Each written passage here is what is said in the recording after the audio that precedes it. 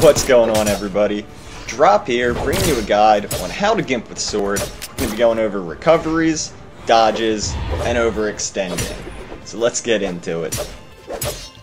Now stuffing a recovery is the most effective and straightforward way to gimp someone.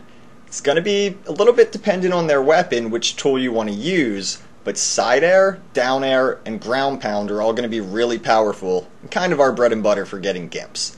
So, I'll show you a few examples now. In this clip versus Ragnir, I end up killing him from white. You see that I force him off, actually down air the first uh, recovery from him, but you'll see that the side air catches the second one, and that's important. Moves like uh, axe recovery or hammer recovery can be really good against opponents above them. So you see me coming with the side air to interrupt.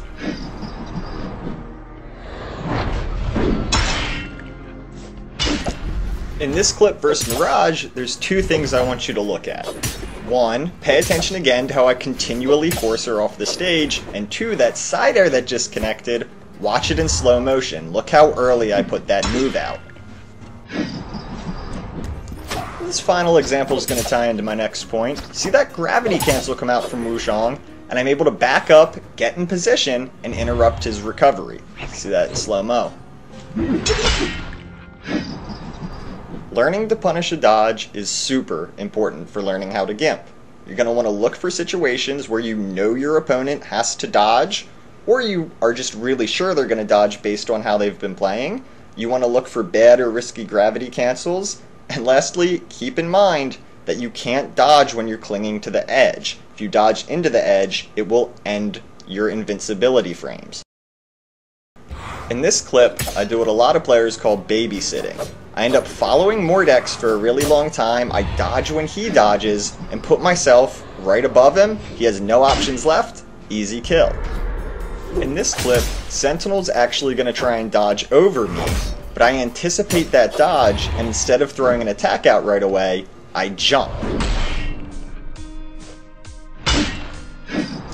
Here we're going to see a gravity cancel punish. Lord Vraxx's going for a very risky gravity cancel. I'm right above him, and I don't back off, I don't go back up to stage. I chase him, and I punish him for his mistake. This is going to be my last example of a dodge punish. I really want you to notice that as it starts to get turned around, I really take my time, come up safely, I force the dodge out with a down air, and suddenly Cassidy isn't able to make it back. Here she is overextending, which is the next thing I'm going to talk about.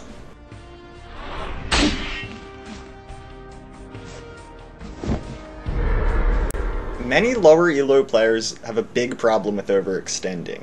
If they think they can get a kill, they chase way too hard, they overcommit to ground pounds. So if you're in a situation where an opponent's overextending, let them get beneath you.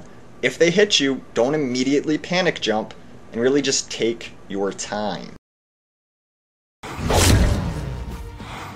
Here we're going to see a great example of a time where it looks like I should be killed. I get hit by that recovery, get hit by the ground pound, but I absolutely wait Sentinel out and I'm able to play it safe and turn a really bad situation into a kill for me because Sentinel overcommitted.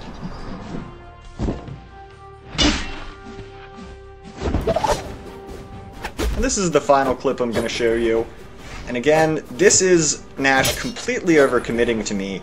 That down air was especially risky. All I do is stay above him, I let him make mistakes, and I even stuff the recovery.